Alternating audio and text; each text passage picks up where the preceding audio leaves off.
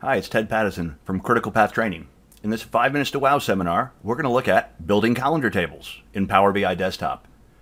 Now, I'm going to start with one of the things that we use in our Power BI Bootcamp training course. We have a project and we built a data model, and this data model is from an OLTP style database. Now, let's say that we don't want to add a calendar table, we just want to use the fact that the sales table has a purchase date. So let's go ahead and take purchase date and we'll take sales revenue and we'll add it to our table visual. We'll take purchase date and Power BI Desktop does this really neat thing. It takes the purchase date and automatically calculates the year, quarter, month, and day for each one. So one of the things that we can do is to use this feature to quickly get calendar dimensions in. And I'd say this is an awesome, great feature for really lazy people. What we really want to do is take more control and create our own explicit calendar table. So let's go ahead and hide purchase date so we never use that in our reporting.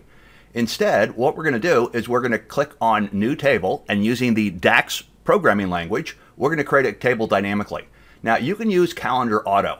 Calendar Auto is a simple function. The problem is it looks at every single date field in all your tables, and we have a customers table that has birth date. So what we see is that starts the calendar table at 1918. Yeah, not really that handy. So what we're going to do is we're going to use the calendar function.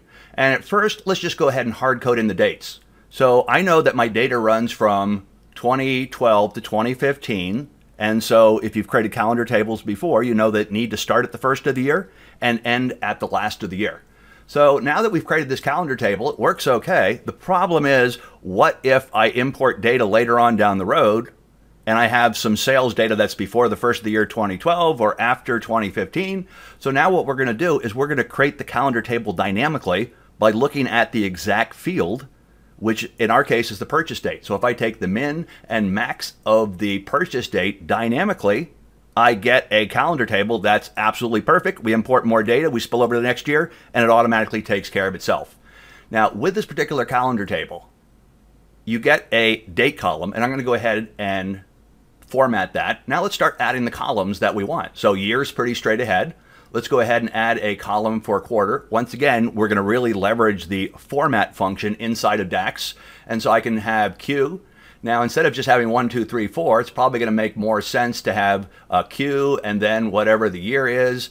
Uh, you'll do plenty of what I just did there to click on the wrong thing and have to recover inside the DAX formula bar. We'll all get used to it. Okay, let's go ahead. And now that we have our quarter inside there, let's go to month. Now, month is going to introduce this new complexity.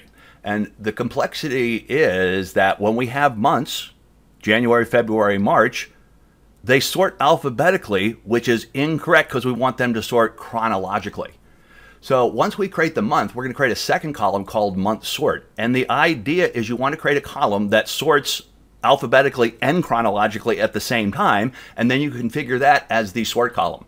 We'll go ahead and hide all the columns that we're generating just for sort columns inside here.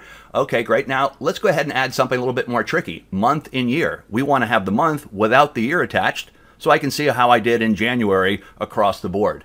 Okay, now just like ye uh, month, we're going to have to create a sort column. So we'll create the month and year sort column. We'll go ahead and configure that. We'll go ahead and hide that. Now let's get a little bit more advanced. Maybe we'll have the uh, day in week. And when we create day in week, we're going to use format and we're going to use the code of D's inside there. You know, let's go ahead and put four D's inside Sunday, Monday. Now, one problem I see is that you want to use the three DDD, not the four, because then you get dates that have a consistent width, which work much better in charts and tables inside there.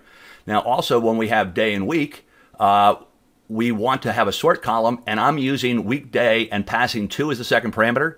So it's based on Monday as the first day of the week. Next, we go ahead and we add our date table into the model. We go ahead, create a relationship on it, and bada boom, we can go ahead and start using our date table and so here, let's go ahead and create a matrix with the columns based on year and week. We can basically mix and match, move things all around inside there.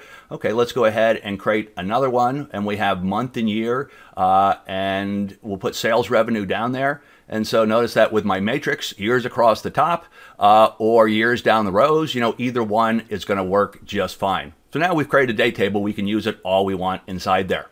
One more little plug make sure you check out Critical Path Training at www.criticalpathtraining.com. If I drop down our courses menu, uh, you'll notice that our very first course, Power BI Bootcamp, is the one you want to look at.